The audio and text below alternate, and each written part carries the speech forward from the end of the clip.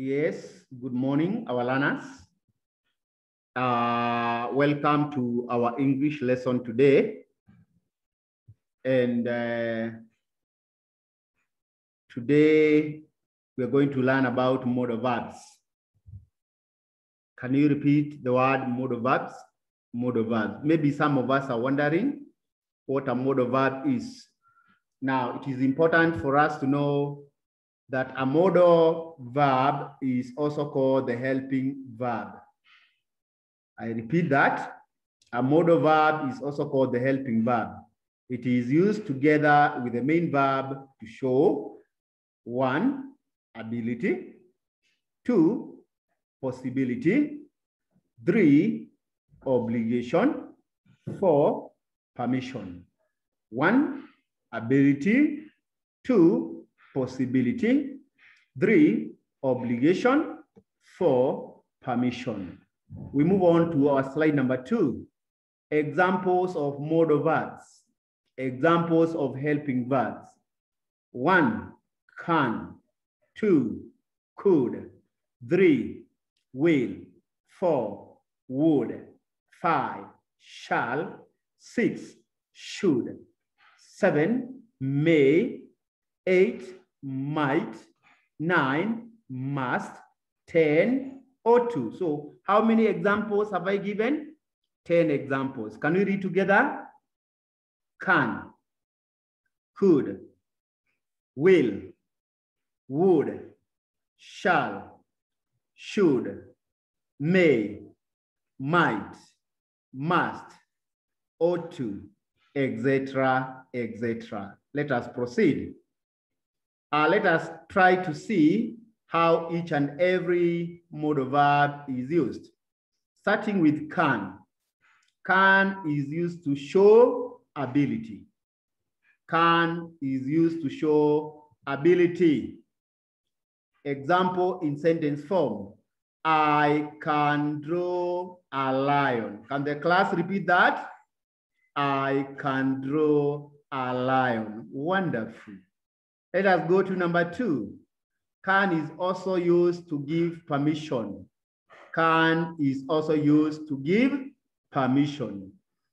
Example in sentence form, you can always borrow my car. Yeah, whenever you want to drive, you can always borrow my car. Very good. Could is the past tense of the word can in reported speech. That one is vital for us to understand. How do we use could in sentence form? It is used to show possibility, the possibility of something happening, the possibility of an event happening. Let me give examples in sentence form.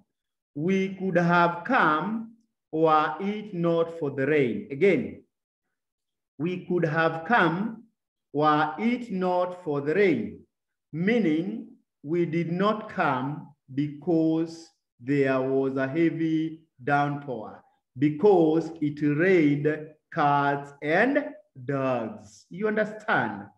Let us move on to number two. Were it not for our goalkeeper, we could have won the match. Yeah, we did not win the match because our goalkeeper was not serious.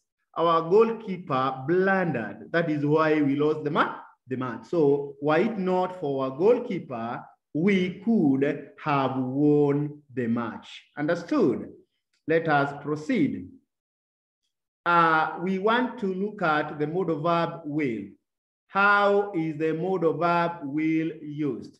It is used to talk about events that will happen in future. It is used to talk about events that will happen in future. Example in sentence form. I will visit you tomorrow. Can we repeat that? I will visit you tomorrow. Number two, they will receive their rewards next week. Good. You understand? Very good. Uh, will is also used uh, as a request. It's also used as a request to ask somebody to do something. Will is also used as a request to ask somebody to do something. Will you sweep the class, please? Dirty. And you know, we cannot learn in a dirty environment. Will you sweep the class, please? So we are using the modal auxiliary verb will uh, as a request. Number two, will you get out of my way? Yeah, you understand that? Let us proceed. Will is also used to state general truths. To state what is true, we have what we call general truths. Example in sentence form, with the clouds on the sky, it will rain. With the clouds on the sky, it will rain. We come to number two, this stone will sink in water. It is axiomatic, no doubt, that stones sink in water. They cannot defy the scientific principles. Are we there? So whatever you're talking about general truths, we use the modal auxiliary verb will. With the clouds on the sky, it will rain. This stone will sink in water. It will not float, isn't it? Yeah. Let us now move to would. Now, would is used as the past tense of will in the reported speech. Did you get that? I come again. Would is used as the past tense of will in the reported speech. It describes a possible action or event. It describes a possible action or event. Yeah? Uh, let me give an example. Let me give an example in this. If I had money, I would buy a car. Let the class repeat that. If I had money, I would buy a car. Did you get that? Would is also used in making requests. Would is also used in making requests. Would you mind helping me with your book? Would you mind helping me with your book? Can the class repeat that? Would you mind helping me with your book? Would you mind? If I ask you, maybe you are hungry, you're dying of hunger, and at least you need something to fill your tummy. So I ask you, would you mind taking your lunch? What should be your response? I wouldn't mind. If you say you would mind, then I'll tell you, okay, you can continue feeling hungry. You understand that? Yes, let us proceed. Would is also used to express a wish. I wish he would come to see me, to express a wish. Would is also used to express a wish.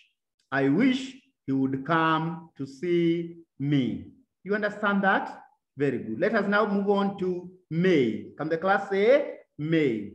So the modal auxiliary verb may is used is used to show doubt, being unsure of the outcome of an event. Whenever we are not sure, whenever we are in doubt of the outcome of a certain event, then we use may. An example in sentence form, he may win the elections. He may win the election. So we are not quite sure whether he's going to win. Let us look at the use of may again. Number two, may is also used to ask or give permission. May I have more soup? May I have my pen? Excuse me, may I pass? You understand? May I, think that is more formal. So to ask for permission or rather give permission, right? Let me give an example in sentence form where may is used to give permission. Maybe Teacher Jacob is in class teaching. The bear has gone. It's time for lunch. So what will Mr. Jacob say? You may go for lunch now. You may take your lunch now. So to ask or give permission, we use the modal auxiliary verb may. You understand that? Now, another example, may I leave now? So that is a request to ask for permission using the modal auxiliary verb may. Now let us move on to the next one. May is also used to express a wish. May is also used to express a wish. May you have a Merry Christmas. May you have a wonderful afternoon. May you live to blow a thousand candles. You understand that? So may is also used to express a what? I wish. Very good. We now come to might. Might is used as the past tense of may in reported speech. We have may, might, may, might. Are we together? Might is also used to show possibility and doubt. Possibility and what? Doubt. Let me give an example. We might get a chance to see the Pope when he comes to Kenya. We might get a chance. So it is not guaranteed. It is either we might get a chance to see him, we might see him, or not see him. So can the class repeat this? We might get a chance to see the Pope when he comes to Kenya. Might is also used to make a polite request. Might is also used to make a polite request. Might we be the victims? Are we there? Yes, we also go to the next one. Might is also used to ask for information. Might is also used to ask for information. I wonder whether you might have any information about this. I wonder whether you might have any information about this. Let us move on to the next one. The other modal auxiliary verb that we want to use is shall. Shall is used when uh, used with I and we. The person, first person singular pronoun I and we to predict the future. Example in sentence form, I shall call you when I arrive. I shall call you. You understand? We shall travel to Nairobi next week. Now, there's something very important that I want you to know. We cannot use shall with you or they. We use shall with I in singular and we in plural, not with he, she, it, they. Yeah, you understand that? Yes. So I shall call you when I arrive. We shall travel to Nairobi next week.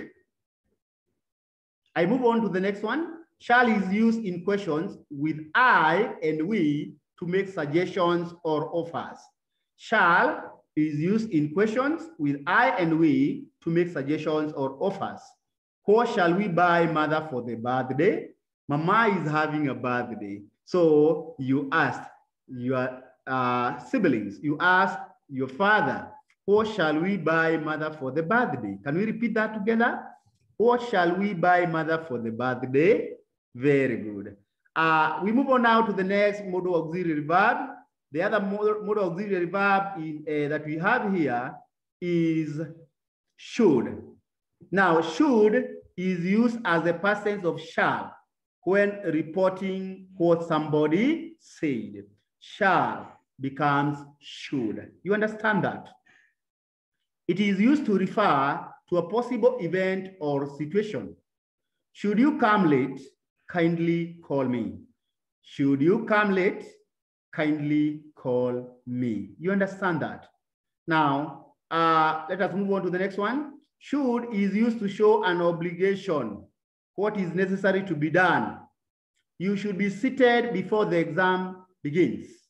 You should be seated before the exam starts. So should, in this case, is being used to show an obligation, what is expected of you, right? Yeah, let us keep the pot boiling. Should is used when giving advice. Whenever you are giving a piece of advice to someone, you can use the modal auxiliary verb should. You should obey your parents. You should finish the teacher's work. You should not misbehave. So in this particular case, we are using the modal auxiliary verb should to give advice. You understand? Now, must is also used to show that something is, now we are coming to must. This is our next modal auxiliary verb. And we are saying that must is used to show that something is important or necessary. Everyone must attend school. Everyone must attend school. Number two, must is also used as an obligation because it is a good idea.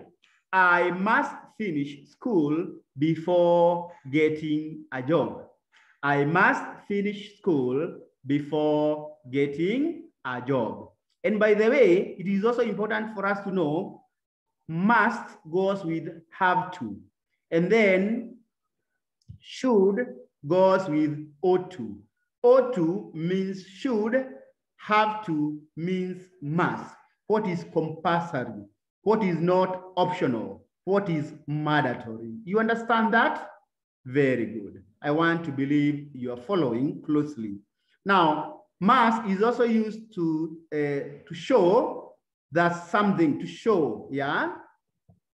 To show that something is logical or likely. To show that something is alerting some sense. Are we together? Now, let's look at the example we have here. Let me give you an example very fast of that. Now, look at that. You must be tired after carrying such a big luggage. So when you carry a big luggage, when you carry a big luggage, of course you'll be tired. You can imagine uh, carrying, a, uh, carrying a whole table. So when I meet you, you tell me you must be tired after carrying a such, after carrying such a big luggage, after car carrying such a big luggage. You understand that? Now we come to ought to. Now ought to is used to indicate an obligation, recommendation, or advice. ought to is used to indicate an obligation, recommendation, or advice. You ought to exercise. Yeah? You ought to visit the sick in hospital. They ought to be paid their dues. You understand that? Now, we look at that together. So we are coming to that. You ought to exercise. You ought to visit the sick in hospital they ought to be paid their dues. You understand that? What is an obligation? What is a recommendation? Or what is an advice? And remember, I've said this. Ought to goes with should. Then have to goes with must. What is mandatory? What is uh, not optional? What is compulsory? You understand that? Yeah. So hopefully you have been following the lesson closely. We come to the end of the lesson and I'm appealing to you to be a bit active in the WhatsApp group. At least make sure you ask a question where you don't understand. Our team will be ready to respond and clear the air or rather do clarification on areas that we experience difficulties. Yeah, uh, this is what I also want you to do again. I want you to copy these notes in your exercise books. You're going to write the date. I want to believe that you have not forgotten where when today is. Yeah. After that, you're going to write modal verbs. Then you're going to copy the notes very well. The way the teacher has arranged his notes, also arrange yours like that. And then after you're done, I want you to construct to construct two sentences in each case using the modal auxiliaries given. Did you get that? Construct two sentences in each case using the modal auxiliaries given. That would be our assignment. And remember, like I've always said, uh, times without number, the teacher's work must be done. The teacher's work must be done. Uh, in the bottom line, uh, I also want to remind you that next week we are going to have an exam, an exam that is on Monday and Tuesday. So I'm calling upon us to continue revising hard so that you get prepared, right? Are we together up to that very point? Yeah. So let us take everything seriously revise hard and get prepared even as the exam approaches, because that is what you're going to use as a tool to ascertain whether you have been following or not. Are you getting that class? Very good. Now, last but certainly not the least, I want to urge you to continue keeping safe. Make sure that you have a face mask with you. Yeah, Make sure that you have a face mask. Make sure that you keep social distance. make sure that you sanitize with alcohol-based sanitizer or wash your hands gently with detergents to keep off this malady by the name coronavirus. Otherwise, thank you so much for listening to me. Thank you so much and may God bless you. See you in our next lesson. Bye. Until next time.